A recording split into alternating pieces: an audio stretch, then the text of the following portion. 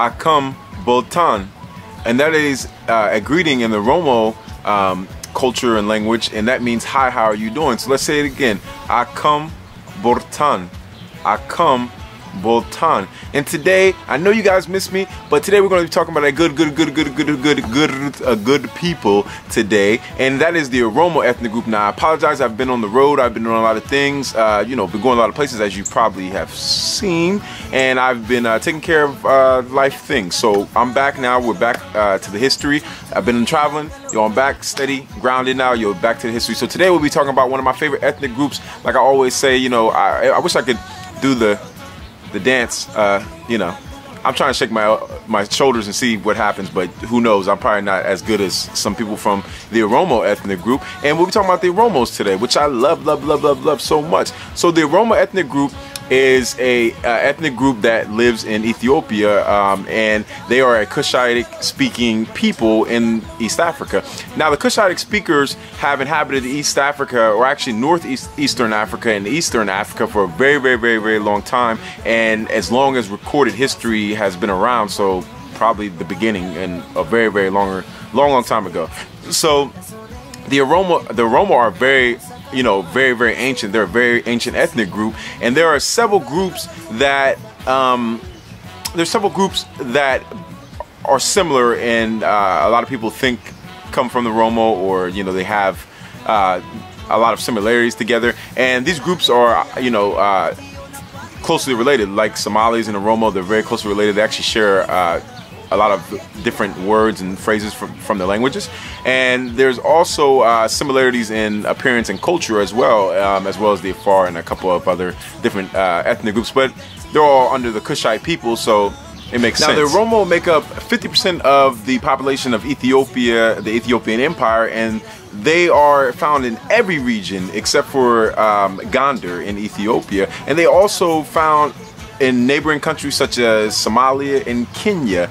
Now, the Oromo have a very, very, very, very rich culture and one highly developed self-sufficient system which has influenced every aspect of Oromo life is called the Gada system. Now, the, the Gada system is a system that is organized in the Oromo society into groups and in these different groups, they uh, assume different responsibilities in society, and, and every eight years, there is a cycle of, of changing of responsibility and what a man or woman uh, can can do, and it is. Uh, you know, the Gada system has guided religion, social, political, and economical life of the Oromo for many years and has also um, factored into their philosophy, art, history, and the method of timekeeping as well, which is a very big thing for uh, Oromo, and uh, that was really something interesting for me to learn as well.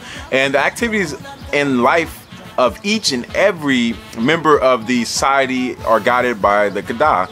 And it, it is it is the law of the society and a system by which the Oromo administer, defend their territory rights, and also maintain and guard their economy, um, uh, their economy, and through which all their aspirations are fulfilled. So the Gada system is very, very important and was more so important uh, in, in earlier years to the Oromo. And the Gada system has served as the basis of the democratic political system for the Oromo. Now, people. the, Gada system, the power belongs to the people, and the laws that are made, and uh, the you know who administers the affairs for the nation, all this power belongs to the people, and it's a very democratic system. And every male member of the society who is of age and of the Gada grade has um, full rights to elect and to be elected as well. And all the people have the right to air out their views at any time in any public gathering without fear of, of, of, death or being, you know, ridiculed. Well, you're going to be ridiculed, but, um, you know, as far as death threats and things of that nature. So let's break down the Gada system and how it works. So the Gada grades have 7 to 11 grades, and this is only due because some people die before they get to a certain age and reach a certain grade. So some people might make it to uh, the fifth, sixth grade, the seventh grade, and things of that nature. Because if they die when they're 40, they are at a certain grade. Because as we, as I said, as we stated, the Gada system works on every eight years. So zero to eight, eight to 16, so on and so on and so on. So the Gada grades are changed every eight years, like I uh, expressed to you, and the Oromo man passes from one stage to the next and his duties and way of life in society for instance, change the, as for instance, during the first four stages of the Gada system, which are zero to eight, as I explained, uh, years old, 18 to 16 years old, etc., etc., going up, you know, in increments of, of eight, and in age. The individuals learn war tactics, Oromo history, uh, politics, rituals, laws, and you know, administration um, over a period of 24 years.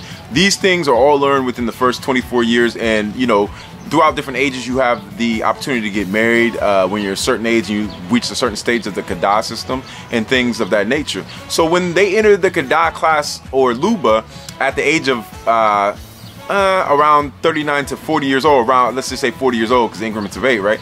Uh, they have already acquired all the necessary knowledge to handle the responsibilities of administering the country and the celebration of rituals. So they have learned everything they need to learn as a man. Um, not everything, but they, have learned a lot enough to be able to sustain the culture, the Oromo culture, um, as far as uh, uh, um, ceremonies, rituals, uh, you know, uh, the religion and being able to support the, the, the ethnic group and the tribe and being able to support them, uh, you know, their mothers and families hunting, things of that nature. So it ends with the partial retirement of the whole group of elders and you know the elders obviously are at a certain age range in the uh, system um, and the elders usually at the end of the Gada system or towards you know when they get older they are usually the advisories or the um, uh, like you know part of the, uh, the, the the, the advisory council and they're the ones that make the rules for a lot of the nation or, or um, can make a lot of laws and things of that nature. Now there also is three main religions uh, in the Oromo ethnic group, and it's the traditional Oromo ethnic, I mean uh, the Oromo religion, and that uh, their god would be Wak.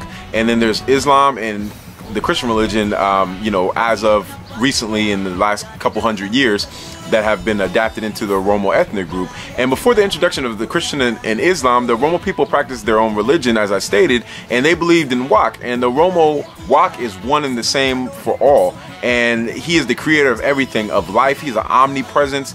He's infinite. He can do and undo anything. He is very pure and intolerant to injustice and crime and sin and falsehood. And the Oromo people also have a rich, rich, rich folklore and oral tradition of of, of, you know Wak and music and arts as well uh, with the Oromo ethnic group and and um, and their religious views on Wak. Now, because where the Oromo live at, they have a very favorable climate and rich soil for many, many, many, many types of crops um, that, and that are cultivated in that area. And normally there is little need for irrigation uh, where the Oromo live at. Normally one, of one uh, and sometimes maybe two crops can be harvested harvested annually from the same field. Among the major foods that they do produce, the Oromo do produce, uh, being an agricultural ethnic group, at some point they were nomads, and uh, here and there they're nomads, but majority of our uh, agricultural ethnic group and have been doing agriculture for a very, very, very, very, very, very, very long time.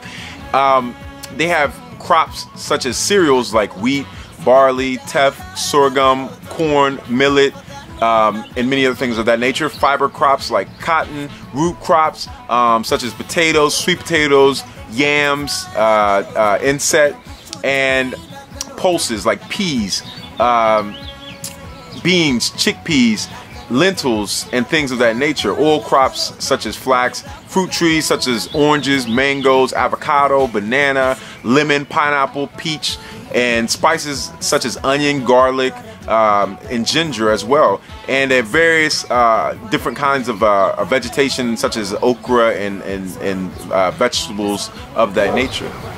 Now the main cash crop for the Oromos is coffee and chat. And chat, if you don't know what chat is, chat is a stimulant uh, shrub and it stimulates your body. And in the Oromo country, um, coffee is also said to come from this area originally, and this is the original area of coffee and has been, you know, exported out through the rest of the world. And this is the home and base of where coffee comes from. Uh, if you've never had Ethiopian coffee, as I always say, you should try it. You know, it's delicious. I mean, it's the best coffee I've ever had in my life, I feel. So uh, definitely try it. And the Oromo clothing is very very nice. Uh, the women usually wear. Um, um, uh, well, the one thing that I can't say that for me, at least, it definitely lets me know when somebody's Oromos when they wear the the head uh, piece that they wear with the Oromo flag on it, the colors in the tree, and usually there's like it's in a triangle shape and it comes in front of the eyes. Sometimes on one triangle shape over here, one triangle shape, and the biggest one in the middle, and sometimes just in the middle. And uh, the Oromo women are very, very, um, uh, I think, are very famous for that because I really, really, really love their cultural outfits. I mean, I love it when they're swinging their hair, and you know, it's just so beautiful. So the Oromo, the Oromo culture is very, very traditional and very, very old, um, and has very, very um, deep, deep roots and traditions uh, in East Africa as well. Now, we must understand that the Oromo, there are some Oromo that would like to have uh, Oromia in their own country, and uh, there was uh, conflict between different ethnic groups um, in Ethiopia at one point, and the Oromo would like to, some Oromo, not, I'm not saying all Oromo, but some Oromo would like to have their own uh, country, Oromia, and uh, their own land back, and there's some conflict there. So there is definitely I've the, the Roma I met they were very very proud and very very happy to be a Roma and um, a Oromo. And I really really really like the Oromo ethnic group. And I think that um, you know I hope for prosperity for them. I hope anything that they're looking for they can get and we can all come to terms. And you know all of us as black people we can um, you know work through things and, and and try to get on a level ground. So this was a very very very nice um, uh, this is a very, very nice thing for me to talk about today because I really like the Oromo. And I, when I first found out about the Oromo, I was um, I actually met uh, one of my current friends now, but I didn't know who the Oromo were, and I'm so glad that I do now because uh, they're very beautiful. Like I said, they have very uh, beautiful traditional dressing, uh, you know, clothing, man and woman, and very strong-spirited uh, people. You should check out the ethnic group, and maybe you can go find some Oromo people where you live at. So, as always, today we learned about another ethnic group from the motherland, and from uh, you know from a fellow um, African you know in this world African American and to a fellow African in this world. Um, I want to say to all black people around the world yo one love be very very safe out here um, and yo know your history know your culture know your politics and to all my people as always yo I'm out. One love peace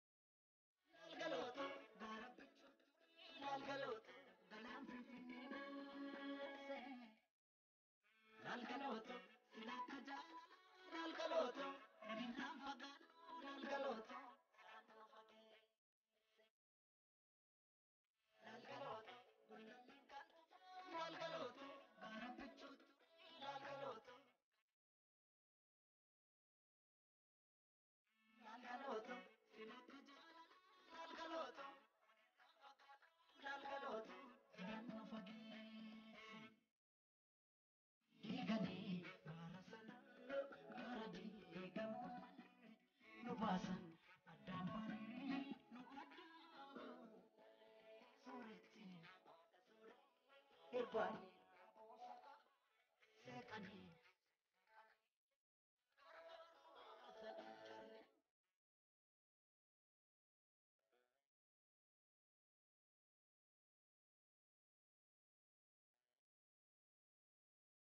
Hogganaalee biyyaa farda siidaa fatanii. siidaa dabalee suurii hogganaalee xiyyaa hirkaan daangeessanii barree turee buulee hogganaalee xiyyaa waddeessi jiraa gubee amboorraa calaqqiisee hogganaalee xiyyaa narraa fagaatte jedhee siyaaduun kiyya yoo mafee. Mala na fe mala, na fe mala na fe aga, dare mala na fe chap chap se na na What's up? What's up? Hey. Shalom. What up? Hi. Africa.